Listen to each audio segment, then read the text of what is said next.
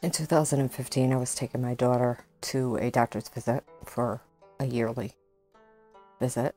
And the doctor had asked me, you know, where do you see yourself in five years? Because she was just uh, coming out of birth to three and going into this um, early intervention program. So he wanted to know where I saw everything five years, and I really didn't have much of an answer. So on the ride home, it was raining, and I was just thinking about, you know, where do I see myself?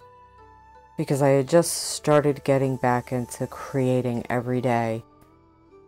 And I've already tried to get into a show and got denied.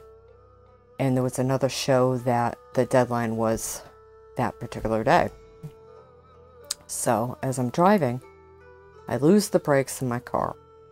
And I had a little bit left. And I figured, well, you know, I could try to make it home.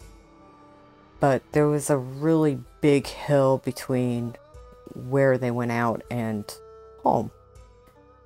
So I traveled a little further and then the brakes completely went out. I had no brakes whatsoever.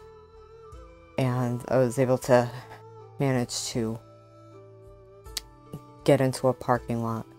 And I called my husband, was like, oh, you know, I lost the brakes. We had no money to get it towed. We didn't have AAA or any of that. And, you know, I called my mother so she could meet the bus for my son. It was just chaos. And it's raining. And then I remembered, hey, my sister just got a job doing towing. So I called her and luckily she was available to come and tow me. And when I got back, I did pay her. Um,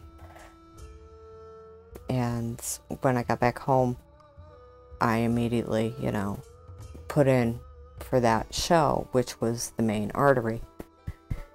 And luckily I got in and I started doing it. So, for, you know, the past four years I've done it. But it all started on that one day.